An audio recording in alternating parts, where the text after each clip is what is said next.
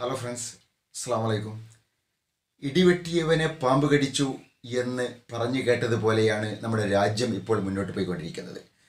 Not നിരോധനത്തിന്റെ ആഘാതത്തിൽ നിന്ന് മുക്തമാവുന്നതിന് മുൻപാണ് കൊറോണ വൈറസ് ലോകമെങ്ങും പിടിമുറുക്കിയത്.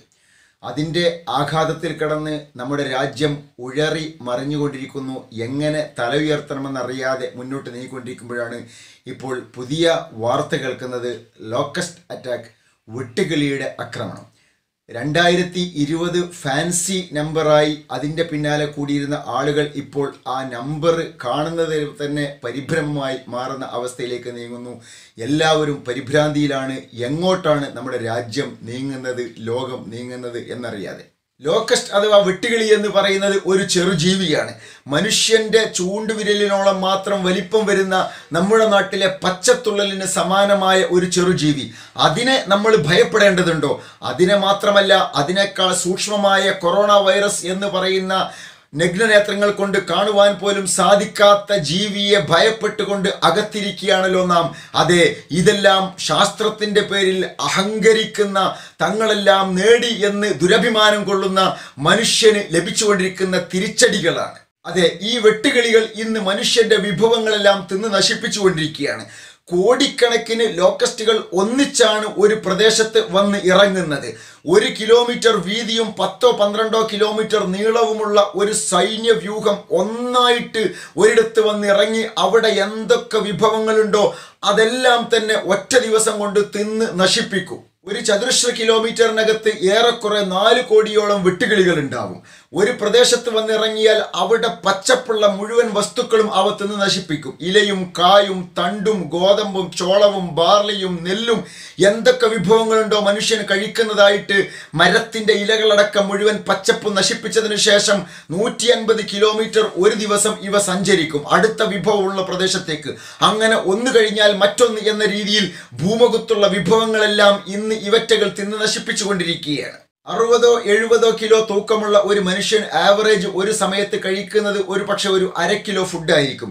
എന്നാൽ ഒരു വെട്ടുകിളി അതിന്റെ അത്രയും തൂക്കത്തിലുള്ള ഭക്ഷണം ഒരു സമയത്ത് കഴിക്കും. മുപ്പത്തി അയ്യായിരം ആളുകൾക്ക് കഴിക്കുവാനുള്ള വിഭവം ഒറ്റ സമയം കൊണ്ട് ഒരു കൂട്ടം വെട്ടുകിളികൾ തിന്നു തീർക്കും എന്നാണ് അവയുടെ ഒരു കണക്ക്.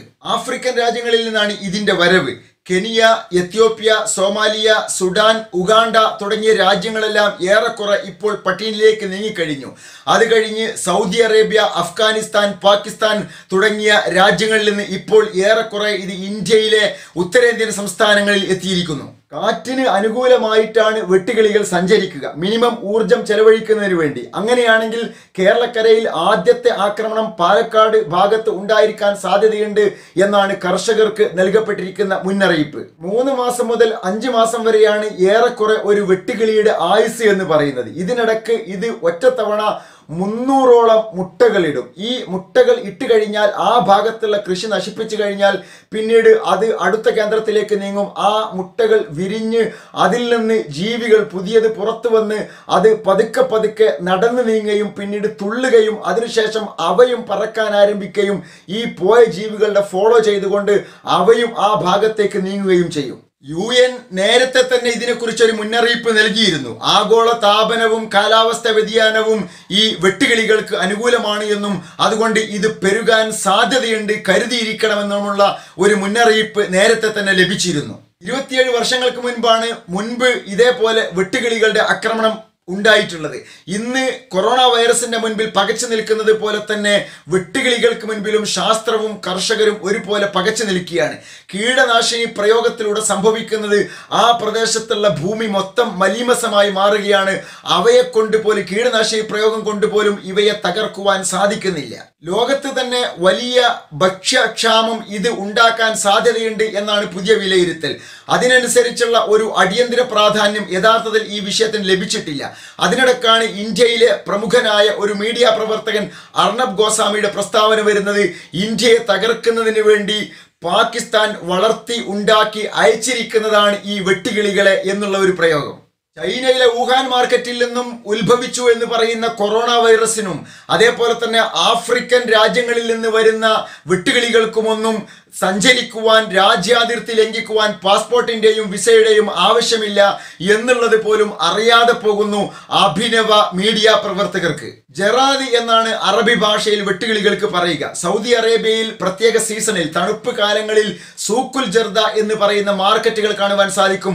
അവിടെ ചെന്നാൽ നമുക്ക് ജറാദികളെ ഈ വെട്ടുകിളികളെ വാങ്ങുവാനും വിൽക്കുവാനും സാധിക്കും. ആരോഗ്യത്തിന് ഏറ്റവും നല്ല ഒരു വിഭവമായിട്ടാണ് ഇത് കണക്കാക്കപ്പെടുന്നത്. ഇസ്ലാം അനുവദിച്ചിട്ടുള്ള വിഭവങ്ങളിൽപ്പെട്ടതാണ് ജറാദ് രണ്ട് കാര്യങ്ങളാണ് ഇസ്ലാം അറുക്കുവാ അറുക്കാതെ തന്നെ ഭക്ഷിക്കുവാൻ അനുവദിച്ചിരിക്കുന്നത്. അത് ഒന്ന് മത്സ്യമാണ് രണ്ടാമത്തേത് ജറാദ് എന്നറിയപ്പെടുന്ന ഈ വെട്ടുകിളികളാണ്. അള്ളാഹുവിന്റെ സൈന്യങ്ങളിൽപ്പെട്ട ഒന്നായിട്ടാണ് ജറാദിനെ ഇസ്ലാം നോക്കിക്കാണുന്നത്. വിശുദ്ധ ഖുറാനിൽ രണ്ടിടത്ത് ജറാദ് എന്ന് പറയുന്ന പ്രയോഗമുണ്ട്. ഒന്ന് സൂറ ആറാഫ് വിശുദ്ധ ഖുറാനിലെ ഏഴാം അധ്യായം സൂറ ആറാഫിലെ നൂറ്റി മുപ്പത്തി മൂന്നാമത്തെ വചനം. ഖുർആൻ പറയുന്നത് ഫഅർസൽന അലൈഹിമു തൂഫാന വൽ ജറാദ. അവരിലേക്ക് അഥവാ ഫറോവയുടെ രാംസിസ് രണ്ടാമന്റെ കാലഘട്ടത്തിൽ ദൈവനിഷേധികളായ ആളുകൾ പറഞ്ഞത് അനുസരിക്കാതിരുന്നപ്പോൾ അവരെ നശിപ്പിക്കുന്നതിന് വേണ്ടി അള്ളാഹു നിയോഗിച്ച സൈന്യങ്ങളിൽപ്പെട്ട ഒന്ന് തൂഫാൻ അഥവാ ശക്തമായ വെള്ളപ്പൊക്കമായിരുന്നു. മറ്റൊന്ന് ജറാദ് വെട്ടുകിളികളായിരുന്നു. അവ വന്ന് ആ പ്രദേശത്തുള്ള വിഭവങ്ങളെയെല്ലാം നശിപ്പിക്കുകയും ആ ജനത തന്നെ നശിക്കുവാൻ കാരണമാവുകയും ചെയ്തു എന്ന പരാമർശം ഖുർആനിൽ കാണുവാൻ സാധിക്കും. ലോകത്ത് ക്രൂരതയ്ക്ക് ഏറ്റവും പേര് കേട്ട ഭരണാധികാരികളിൽ ഒരുത്തനായിരുന്നു റാംസിസ് രണ്ടാമൻ എന്നറിയപ്പെടുന്ന ഈ ഫറോവ. ഇന്ന് തന്റെ ഭരണത്തിന് കീഴിലുള്ള ആളുകളോട് ക്രൂരത കാണിക്കുന്ന ആളുകൾക്കൊരു താക്കീതായിട്ടാണോ ഒരു പക്ഷേ ഈ ജറാദിനെ ദൈവം നിയോഗിച്ചിരിക്കുന്നത് എന്ന ചിന്ത ഏറെ പ്രസക്തമാണ്. ലോക്കസ്റ്റ് വെട്ടുകിളികൾ ശിക്ഷയാണ് എന്ന് തീർത്തു പറയാൻ നമുക്ക് ന്യായമൊന്നുമില്ല. പക്ഷേ മനുഷ്യന്റെ അഹങ്കാരം മാറ്റിവെച്ച് ആലോചിക്കുന്നത് നന്ന് എന്നൊരു ചിന്തയെങ്കിലും ഈ സമയത്ത് മനുഷ്യന് ഉണ്ടാകുന്നത് നല്ലതാണ്. രണ്ടാമത് ഖുർആൻ ജറാദി എന്ന പ്രയോഗം നടത്തിയത് വിശുദ്ധ ഖുർആാനിലെ അമ്പത്തിനാലാമത്തെ അധ്യായം സൂറ കമറിലെ ഏഴാമത്തെ ആയത്തിലൂടെയാണ്. മരണശേഷമുള്ള മനുഷ്യന്റെ പുനരുദ്ധാരണം പുനർജന്മവുമായി ബന്ധപ്പെട്ട പരാമർശമാണ് ഇവിടെ ഖുർആൻ നടത്തുന്നത്.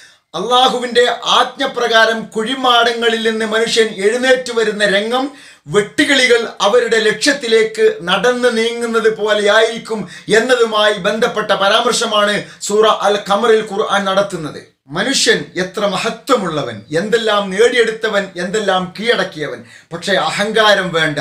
ഒരു ചെറു സൂക്ഷ്മജീവിയായ കൊറോണ വൈറസിന് മുൻപിൽ പരാജയപ്പെടുവാൻ മാത്രമേ അവനുള്ളൂ. അവന്റെ ഒരു വിരലിനോളം മാത്രം വലിപ്പമുള്ള ഒരു വെട്ടുകിളിക്ക് മുൻപിൽ പരാജയപ്പെടുവാനുള്ള അറിവ് മാത്രമേ മനുഷ്യൻ സമ്പാദിച്ചിട്ടുള്ളൂ. അതുകൊണ്ട് വിനയത്തോടെ മുന്നോട്ട് നീങ്ങുക. പ്രിയപ്പെട്ടവരെ ഞാൻ ഈ വീഡിയോ ഇവിടെ വൈൻഡപ്പ് ചെയ്യുകയാണ്. ഇൻഫോർട്ടൻ സ്റ്റുഡിയോ എന്ന് പറയുന്ന യൂട്യൂബ് ചാനൽ നിങ്ങൾ സബ്സ്ക്രൈബ് ചെയ്തിട്ടില്ലെങ്കിൽ സബ്സ്ക്രൈബ് ചെയ്യുക. ഇതേപോലെ ഒരു പുതിയ വിഷയവുമായി വീണ്ടും കാണാം. അന്റിൽ ദൻ ബൈ